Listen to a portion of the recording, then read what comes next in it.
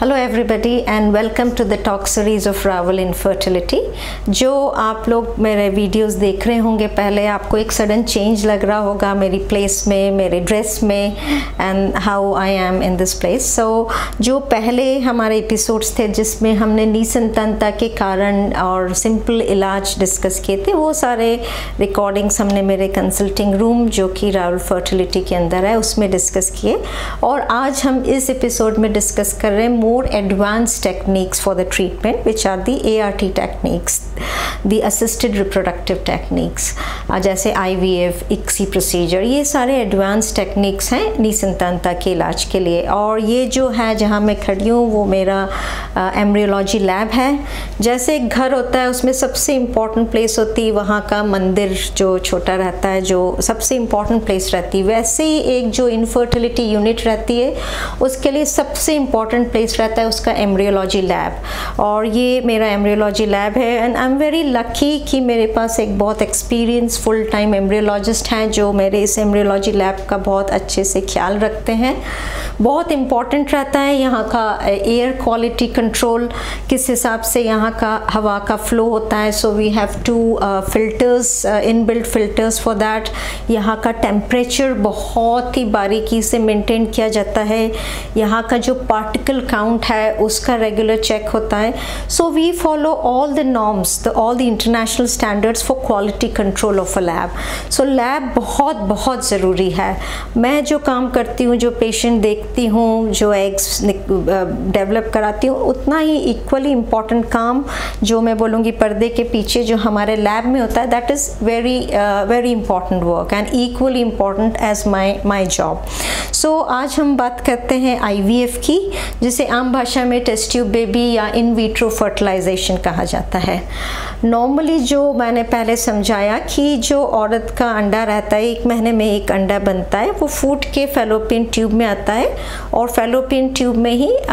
Husband के शुक्राणु जब अंडे से मिलते हैं, उसे बोलते हैं फर्टिलाइजेशन जिससे एम्ब्रियो बनते हैं। पर आप सोचिए कि अगर ये नलियाँ ही ब्लॉक हो तो फिर भले ही एग और स्पर्म अच्छे बन रहे वो कैसे मिलेंगे? और यही बात जो साइंटिस्ट थे, जिन्होंने टेस्ट ट्यूब बेबी का इन्वेंशन किया उन लोगों ने सोची। उनके पास पेशेंट था जिसकी दोनों ट्यूब्स बंद थी।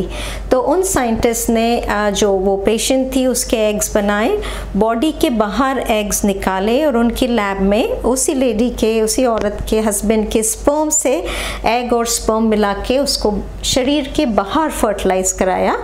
और जो एम्ब्रियो बना फिर उसको औरत के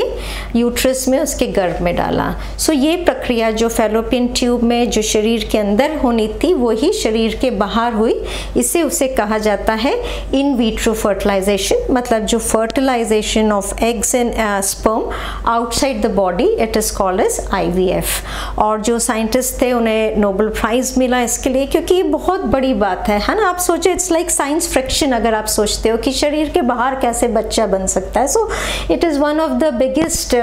scientific invention of its time और जो फ़र्स्ट लेडी थी लुइस ब्राउन जिस जो टेस्ट ट्यूब बेबी थी आज वो काफ़ी टाइम काफ़ी उम्र की हो गई और उसको भी बच्चे हो गए। फ़र्स्ट टेस्ट ट्यूब बेबी जो यूके में हुआ था ओल्ड हैम में uh, वो हुआ था जुलाई 78 और उसके तीन चार महीने बाद ही इंडिया में जो फ़र्स्ट टेस्ट ट्यूब बेबी हुआ जिसका नाम था दुर्गा वो हुआ। तो इंडिया भी इस चीज़ में काफ़ी आगे है। इनफैक्ट अब तो हम वर्ल्ड के सेंटर बन गए हैं फॉर असिस्टेड रिप्रोडक्टिव टेक्निक्स क्योंकि बहुत एडवांस टेक्निक्स सारी चीज़ें हमारे पास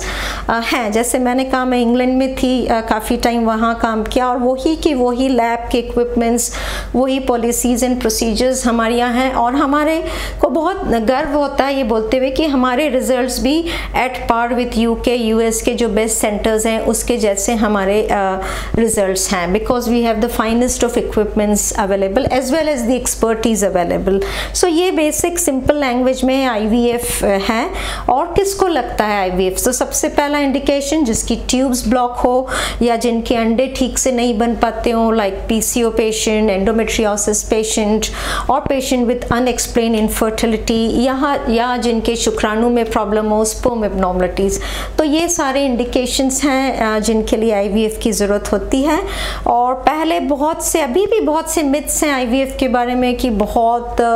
इंटेंसिव ट्रीटमेंट है बहुत ऑपरेशन होता है या बहुत बेड रेस्ट की ज़रूरत है बहुत एक्सपेंसिव है। बट ऐसा नहीं है आजकल आईवीएफ बहुत सिंपल हो गया है। इसमें आपको हार्मोन के इंजेक्शंस लगते हैं 10 से 12 दिन और फिर उसके बाद रेगुलर अल्ट्रासाउंड होते हैं जिसमें हम देखते हैं कि आपके फॉलिकल्स बन रहे हैं कि नहीं और फिर एक ट्रिगर इंजेक्शन देते हैं एग रिलीज़ होने के लिए और एक सिंपल 15 मिनट का प्रोसीजर होता है जनरल एनेस्थीसिया में जिससे आपके एग्स बाहर निकाले जाते हैं और उसी दिन आपके हस्बैंड के स्पर्म लेके यहाँ लैब में स्पर्म और एग्स मिलाए जाते हैं and third day we check कि कितने एम्ब्रियोज बने, वो एम्ब्रियोज आपके यूट्रस के अंदर डाले जाते हैं। So this is in short what IVF is and ऐसा नहीं कि आपको पूरा बेड रेस्ट करना पड़े। एम्ब्रियो ट्रांसफ़र के नेक्स्ट डे से आप चल फिर सकते हैं। आप जो जॉब कर रहे हैं, वो कर सकते हैं। और एम्ब्रियो ट्रांसफ़र के आफ्टर 14 डेज़ बाद 14 दिन बाद आपको प्रेगनेंसी टेस्ट करते हैं और पता चलता है कि आपका सक्सेस हुआ है कि नहीं हुआ है। सक्सेस सक्सेस रेट 100 परसेंट नहीं रहते हैं। सक्सेस रेट एज डिपेंडेंट रहते हैं कॉस्ट डिपेंडेंट रहते हैं but usually the success rates are around 40 percent और और in the best of hands at the most 50 percent इसलिए कोई अनरियलिस्टिक एक्सपेक्टेशंस नहीं रखें कि ये बिल्कुल आपने एक बार ट्रीटमेंट के लिए आए तो 100 परसेंट पॉजिटिव आएगा, ये ऐसा नहीं है। हमारी पूरी कोशिश रहती है कि आपको बेस्ट से बेस्ट रिज़ल्ट दें और उसके लिए हमारी क्लिनिकल टीम हमारी एम्ब्रियोलॉजी टीम पैरामेडिकल स्टाफ हर तरह से एक एक चीज़ें from the time you enter to a clinic till we discharge you हर बारीक चीज़ पे आपका आ, हम ध्यान से देखते हैं ताकि हम आपको बेस्ट से बेस्ट रिज़ल्ट दे पाएँ। सो so, अगर आपको कोई भी प्रॉब्लम हो इनफर्टिलिटी की अगर आपके सिंपल ट्रीटमेंट फेल हो, हो गए हों तो इट्स इंपॉर्टेंट कि आप जो एडवांस टेक्निक हैं उनका सहारा लें जिसके रिजल्ट्स बहुत अच्छे हैं। सो so, यही मैं आपको बताना चाहती हूँ आईवीएफ के बारे में।